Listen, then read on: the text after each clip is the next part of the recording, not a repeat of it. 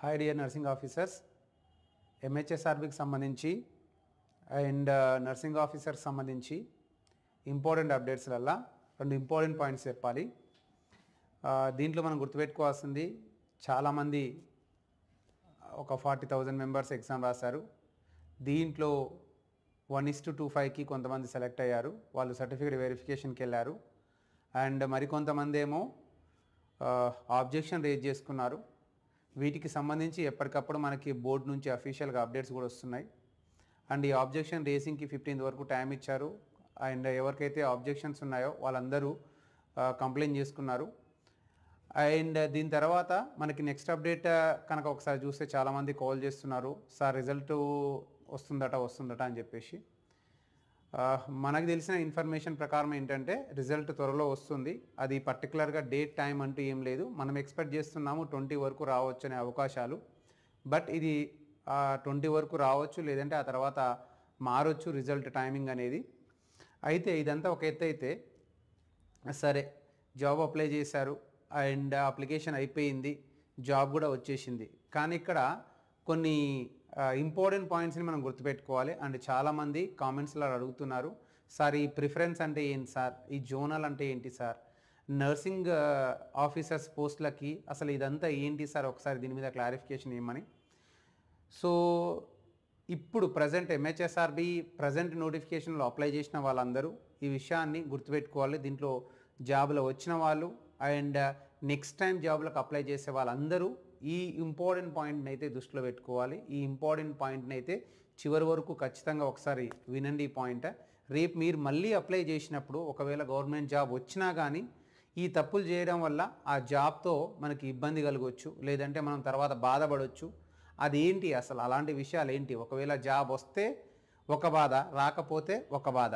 వచ్చిన తర్వాత కూడా అది మనకు కోరుకున్న ప్లేస్లో రాకపోవచ్చు. ఫర్ ఎగ్జాంపుల్ దీంట్లో ఒక ట్వంటీ ఇయర్స్ నుంచి వాళ్ళు అదే డిస్టిక్లో ఉన్నారు. బట్ ఇక్కడ వాళ్ళు ప్రిఫరెన్స్ అనేది సరిగా ఎచ్చుకోకపోవడం వల్ల వాళ్ళకి ఆ పోస్ట్ మారిపోయింది ఆ పొజిషన్ మారిపోయింది చేయాల్సిన పని కూడా మారిపోతుంది. సో ఇలాంటి ఇంపార్టెంట్ విషయాలని నేను ఈ వీడియోలో చెప్తున్నాను. ఈ వీడియోలో జాగ్రత్తగా చూడండి. నేను ఫస్ట్గా ఒక అప్లికెంట్ కనుక స్టాఫ్ నర్స్ పోస్ట్కి అప్లై చేసుకున్నప్పుడు వాళ్ళకి మొదటగా అడిగే అప్లికేషన్లో మొదటగా అడిగే ఆప్షన్ ఏంటంటే ప్రిఫరెన్స్ అండి. ఈ ప్రిఫరెన్స్ని ఆల్రెడీ మనం పెట్టుకుంటాము. ఏ డిపార్ట్మెంట్ ప్రిఫరెన్స్ ఇవ్వాలి ఏంటి అనేది మనం ఆటోమేటిక్గా దీంట్లో పెట్టుకుంటాము. నేను ఇక్కడ ఎక్స్వైజెడ్ ఒక ఎగ్జాంపుల్ తీస్తున్నాను ప్రిఫరెన్స్.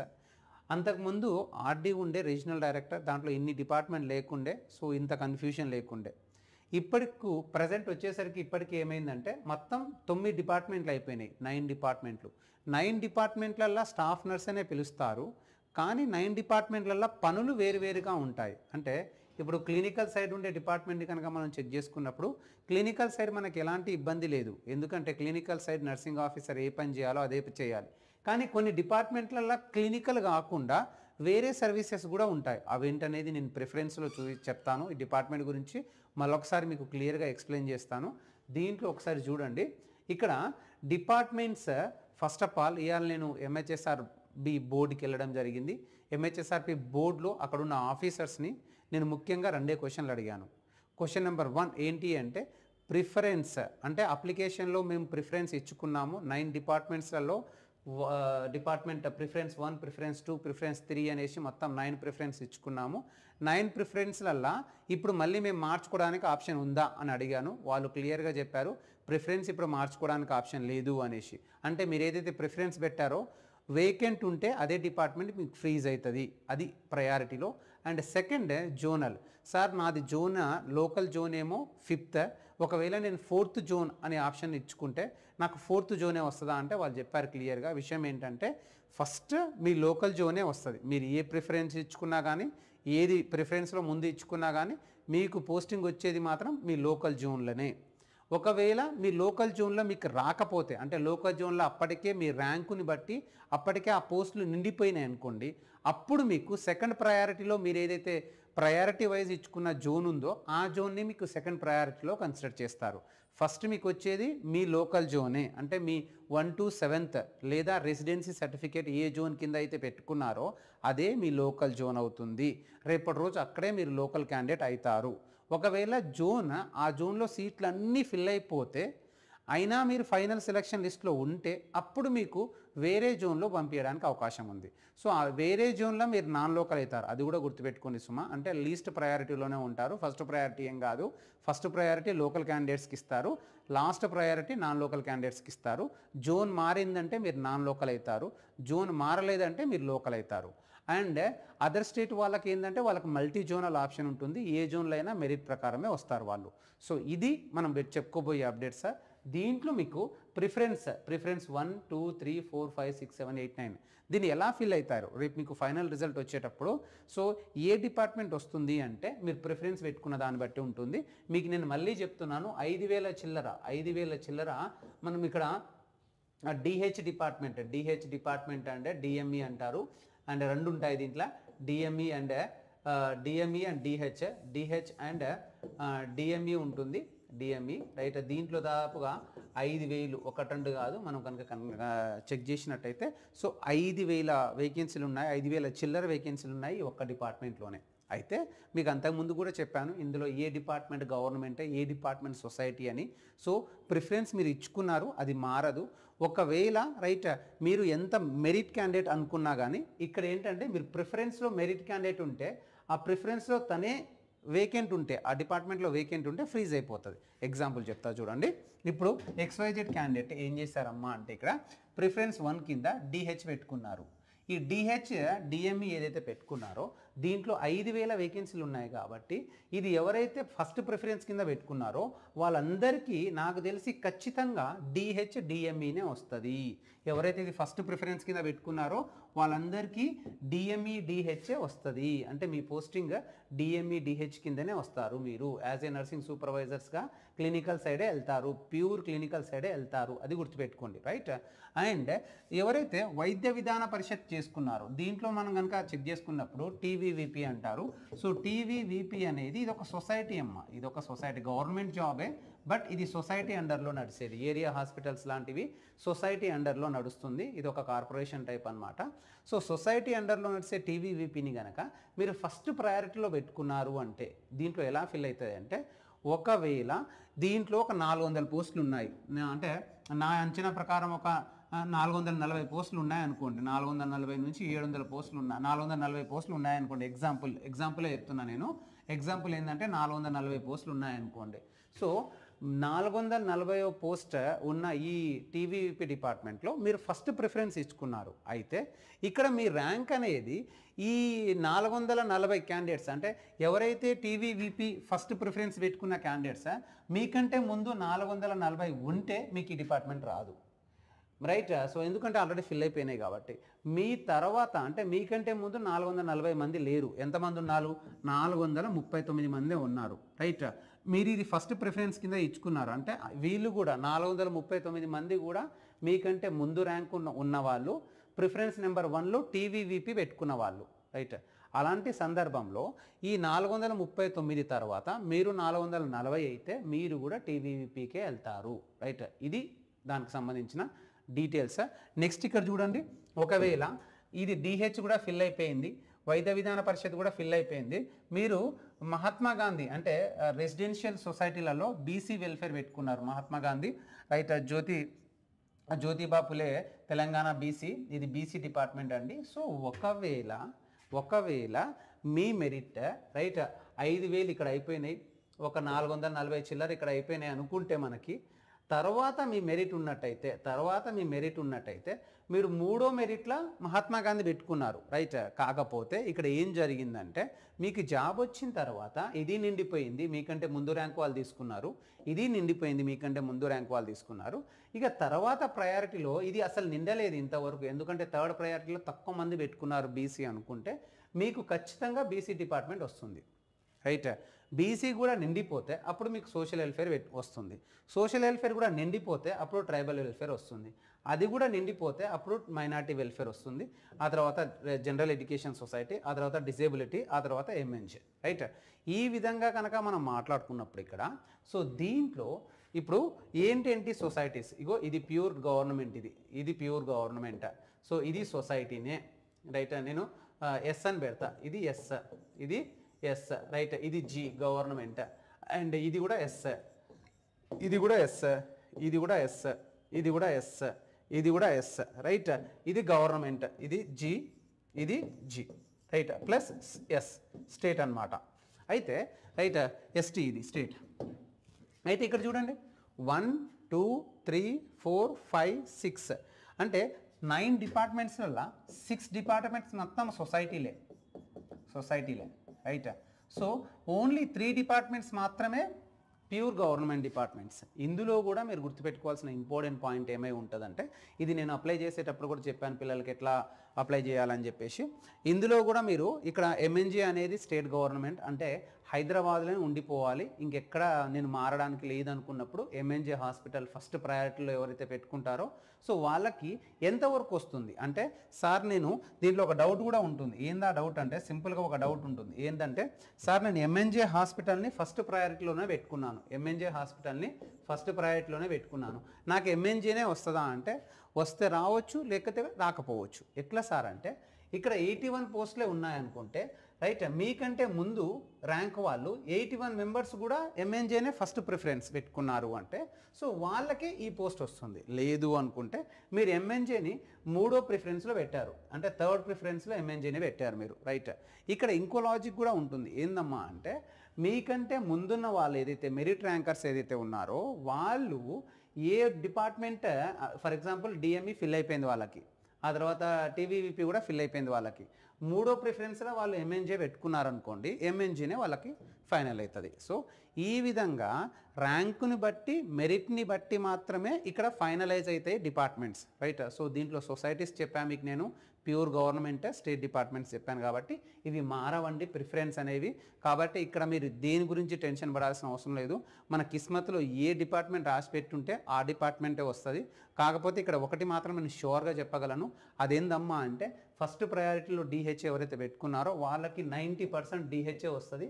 అది షూర్ ఎందుకంటే ఐదు వేల పోస్టులు ఉన్నాయి కాబట్టి నేను చెప్తున్నాను ఖచ్చితంగా. So ninety post ninety staff nurses nursing officers ఏదైతే ఉన్నారో వాళ్ళు ఖచ్చితంగా డిహెచ్ డిఎంఈనే సెలెక్ట్ అవుతారు. ఫస్ట్ ప్రిఫరెన్స్లో పెట్టుకున్నారు కాబట్టి.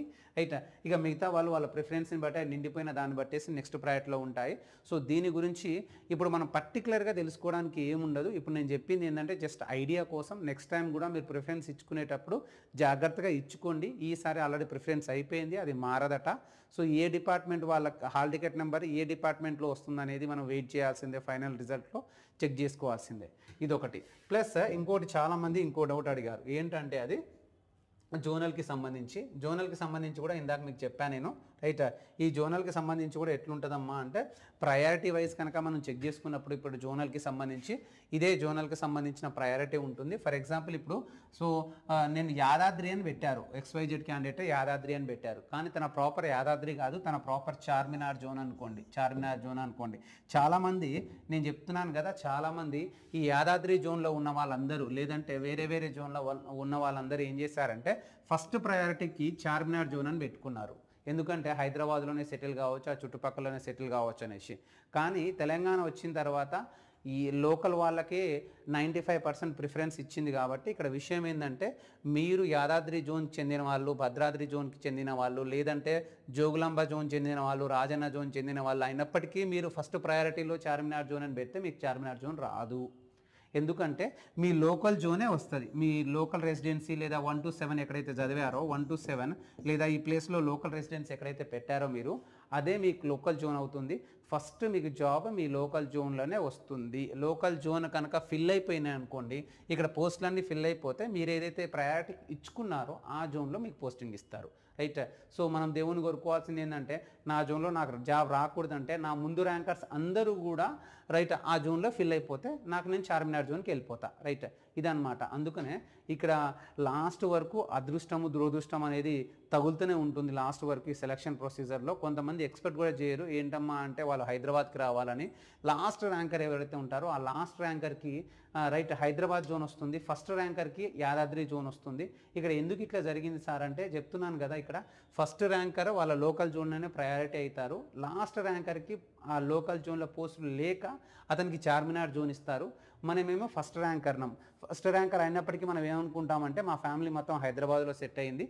సో నేను చార్మినార్ జోన్కే వెళ్ళిపోవాలనేసి గట్టిగా అనుకుంటాము. కానీ వెళ్ళిపోము. మన జోన్కే మనం పోతాము. మనం లోకల్ జోన్ ఏదైతే ఉందో అక్కడికే పోతాము. ఎవరైతే లాస్ట్ ర్యాంకర్ ఉంటారో ఈ యాదాద్రి జోన్ మొత్తం ఫిల్ అయిపోయింది కాబట్టి గత్యంతరం లేక అతనికి చార్మినార్ జోన్ అంటాడు. అతనికి చార్మినార్ జోన్ లాస్ట్ ర్యాంకర్కి ఇష్టం లేకున్నా కానీ చార్మినార్ జోన్ తీసుకోవాల్సిందే.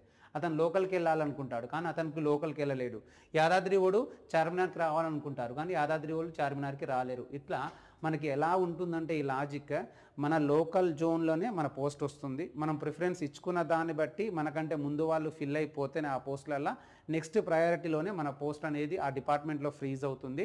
డిపార్ట్మెంట్లో ఆ పోస్ట్ ఫ్రీజ్ అయిపోయిన తర్వాత మాత్రమే మనకి డిపార్ట్మెంటల్ కౌన్సిలింగ్ ఉంటుంది. ప్లేస్మెంట్ ఎక్కడ కావాలని చెప్పేసి ఆ ప్లేస్మెంట్ని బట్టి మనకి ఆర్డర్ కాపీస్ అనేవి వస్తాయి. ఇదంతా కొన్ని రోజుల్లో జరిగే ప్రక్రియ కాబట్టి గుర్తుపెట్టుకోండి. నెక్స్ట్ టైం స్టాఫ్ నర్స్ పోస్టులకు అప్లై చేసేటప్పుడు మాత్రం డిపార్ట్మెంట్ని ప్రిఫరెన్స్ ఇచ్చుకునేటప్పుడు జాగ్రత్తగా ఇచ్చుకోండి. జోనల్ అయితే మీ జోన్ మీకే వస్తుంది. వేరే జోన్ అయితే జోన్ గురించి పెద్ద డిస్కషన్ చేయాల్సిన అవసరం లేదు. కానీ డిపార్ట్మెంట్ మాత్రం చాలా ఇంపార్టెంట్ అవుతుంది నెక్స్ట్ టైం రైట్? సో ఇది నేను చెప్పబోయేది. అండ్ ఇక్కడ మీరు గుర్తుపెట్టుకోవాలండి. సో రిజల్ట్ అనేది ఆల్రెడీ ఎంహెచ్ఎస్ఆర్బి బోర్డు దాని మీద చాలా హార్డ్గా వర్క్ చేస్తుంది. సో త్వరగానే ఎంహెచ్ఎస్ఆర్బి బోర్డు రిజల్ట్ అనౌన్స్ చేయడానికి చాలా హార్డ్ వర్క్ చేస్తున్నారు వాళ్ళు. త్వరగానే అనౌన్స్మెంట్ చేస్తారు. దీని తర్వాత మళ్ళీ నోటిఫికేషన్ స్టార్ట్ అవుతుంది. మళ్ళీ నోటిఫికేషన్ మేలో మళ్ళీ నోటిఫికేషన్ పడుతుంది. స్టాఫ్ నర్సెస్ సంబంధించి చాలా వేకెన్సీలు మళ్ళీ కొత్త వేకెన్సీలు చాలా వస్తున్నాయి. సో వేకెన్సీలకు సంబంధించి కూడా మీరు ఎప్పటికప్పుడు అప్డేట్ తెలుసుకోండి. మేము అప్డేట్ చేస్తూ ఉంటాము. వేకెన్సీలు ఎప్పుడు ఉన్నాయి ఎప్పుడు నోటిఫికేషన్ పడే అవకాశం ఉందనేసి. Job calendar Congress job calendar ప్రకారం అయితే మనకి మేలో అయితే నోటిఫికేషన్ పడే అవకాశాలు అయితే ఎక్కువగా కనిపిస్తున్నాయి కాబట్టి అందరూ ప్రిపరేషన్లో ఉండండి. ఇంకా ప్రిపరేషన్ని కంటిన్యూ చేయండి. ఇక్కడ ఎవరు డిసప్పాయింట్ అవ్వాల్సిన అవసరం లేదు. ఎందుకంటే జాబ్ రావడం ఒక ఎత్తు అయితే ఆ ప్లేస్లో రావడం ఇంకో ఎత్తు రైట్ కొంతమందికి ఈ జాబ్ అనేది ఎలా ఉంటుందంటే వచ్చిన తర్వాత కూడా అన్లక్ ఉంటుంది రైట్ ఎలా అన్లక్ ఉంటుందంటే కొంతమంది ఎక్స్పెక్ట్ చేయలేరు. ఫర్ ఎగ్జాంపుల్ వాళ్ళు పిహెచ్సి సెంటర్లో ఒక ట్వంటీ ఇయర్స్ నుంచి పనిచేస్తున్నారు ఒక పిహెచ్సి సెంటర్లో కానీ వాళ్ళకి రెసిడెన్సీ గురుకులాలో రెసిడెన్సీ గురుకులాలో ఎక్కడో తెలియని ప్లేస్లో పోయి పోస్టింగ్ వస్తుంది.